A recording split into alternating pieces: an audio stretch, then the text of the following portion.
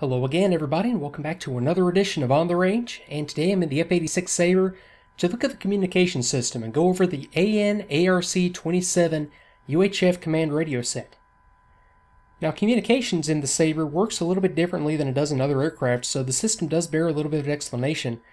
It's controlled by this panel over on the right console, and I have a switch that controls power going to the radio. In the off position, obviously, the radio is going to be off. I have TR, which is transmit receive. I have TR plus guard receive, so I can transmit and receive and receive on the emergency guard frequency. And I have an ADF setting. ADF is not modeled or is actually not implemented, and that is correct for this model Sabre. So primarily I'm going to be in either the TR or the TR plus G receive setting, and that's going to allow me to transmit and receive. Now where it gets a little bit complicated is the dial that you use to preset and to transmit and receive on a specific frequency. In other aircraft, you manually set the frequency to whatever the flight or whatever the agency is that you're trying to communicate with. In this aircraft, we have a series of preset channels, 1 through 18, and an additional guard channel which is represented by 0, or sometimes seen as G, on this dial. So the key is to figure out what channel to have the receiver and transmitter in to talk with talk with the agency that you want to talk with. And that's where a little bit of mission planning comes into place. Let me go back to the mission briefing for this mission that I'm on and have a look at the information that we can get from that. The information that you need on what position of the dial corresponds to what frequency is going to be contained in either your mission briefing or within the mission planner that's available as part of the mission briefing. So let me select this mission as the first default mission for the F-86 First Jet Strike Fighter and we'll see what we have. Now the mission briefing itself does not call out any specific radio frequencies, but that's not a big deal. We can figure this out on our own by going to the mission planner and seeing what we have here. So let me zoom out real quick and I can see that I'm flying out of Batumi Airfield and that I have a flight of four aircraft. So the first thing that I can tell is that my flight is going to be operating on 225 megahertz. And I have this tab, it's called Radio Presets.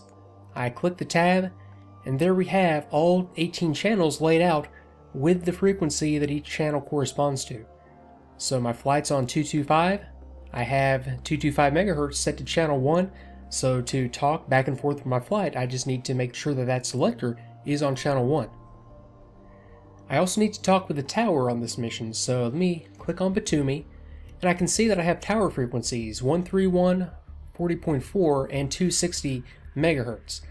Now again, the command radio that we have is only capable of uh, transmitting and receiving in the UHF band, anywhere from 225 to 400 megahertz, so 260 megahertz is the one that we need. So if I go back to my flight, I can go back to the radio tab, and I can see the channel 3 is set up with 260 megahertz, so I need to be on channel 3 to talk with the tower. Now, you might run into a situation where you have an airfield that just isn't listed on here. Uh, one that comes to mind is Senaki Kolkhi. So if I click on it, 261 megahertz, and come back to my flight in the radio tab, you'll see that there is no preset for 261 megahertz. So what I would do if I wanted to you know, talk with another flight or talk with an airfield or anything else that's capable of communications, I can just click in either of these fields and I'll just type in 261. So now channel 2 will be preset and I can talk with Senaki Kolkhi Airfield using that preset on channel 2. So let's get back to the cockpit and see this in action. And now that I have the correct settings for the dial to correspond with the frequencies that I want to transmit and receive on, now I can start to communicate. So I'm in position 1 on the dial, I'll go to transmit and receive, and that'll allow me to transmit and receive on that frequency that corresponds to the one position. I'll also receive on that emergency guard frequency.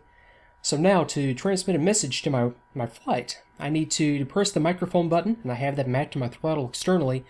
So to press the button, and I'll just give a command that is generic and will get a response just as a quick voice check.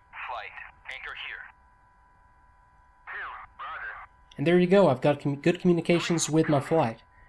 Now to communicate with the tower, I need to go to position 3, and now when I depress the microphone button, I can select ATC, Batumi, And my only option is to request startup, even though that's something that I hate doing. To me, in field, 1 1. Request startup. And I should get a response since I am set to the correct dial position that's going to give me the right frequency.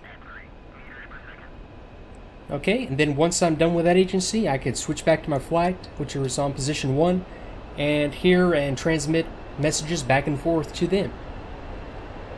So that's a description of the ANARC 27 Command UHF radio set, and hopefully that makes a little bit more sense to you now. That is a lot different than what we're used to in other aircraft in DCS as far as how the frequencies are set up and how we communicate with other agencies. But it does work, it just takes a little bit of planning uh, beforehand to figure out what setting you need to have the dial at. So that's it for this video, and I hope you did enjoy it, and I will see you next time.